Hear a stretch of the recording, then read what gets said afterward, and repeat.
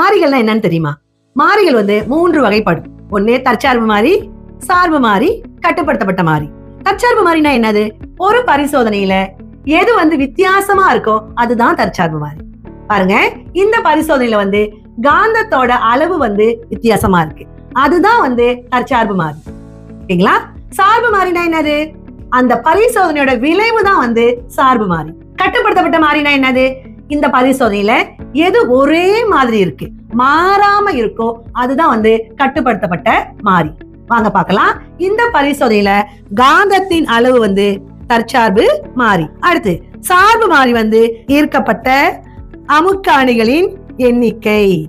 ஏன்னா அதுதான் நம்ம கடைசியா பாக்குறோம் சோ அதனாலதான் வந்து இந்த சார்பு மாறி வந்து ஈர்க்கப்பட்ட அமுக்க அணிகளின் எண்ணிக்கை. இப்ப கட்டுப்படுத்தப்பட்ட மாறி என்ன? ஒரே மாதிரி இங்க என்ன இருக்கு? காந்தத்தின் வகை. விளங்கிச்சா மாணவர்களே? இதுதான் வந்து மாறிகளை சுலபமாக அடையாளம் காணக்கூடிய முறை. இது போன்ற கேள்விகளுக்கு சுலபமான முறையில நீங்க வந்து பதிலளிக்கணுமா?